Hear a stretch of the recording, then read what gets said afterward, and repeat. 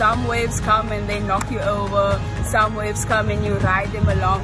With everything that comes, you build up resilience, you build up determination, and you build up a mindset of, I can keep going. My next wave is going to come and it's going to be better.